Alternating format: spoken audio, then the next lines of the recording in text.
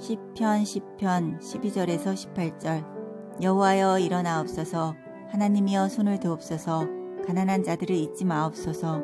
어찌하여 악인이 하나님을 멸시하여 그의 마음에 이르기를 주는 감찰하지 아니하리라 하나이까? 주께서는 보셨나이다.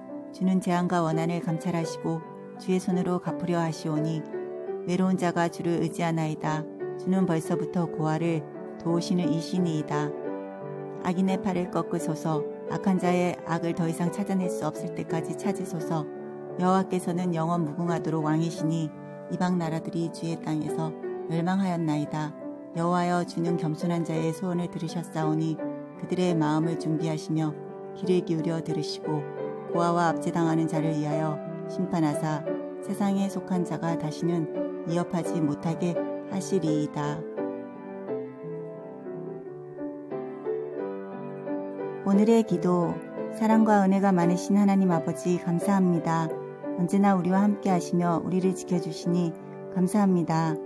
가난하고 외로운 자를 도와주시고 교만하지 않고 겸손한 자의 소원을 들으시며 그들의 마음을 준비하며 귀를 기울여 들으시고 고아와 압제당하는 자를 위하여 심판하사 세상에 속한 자가 다시는 위협하지 못하게 하시니 감사합니다.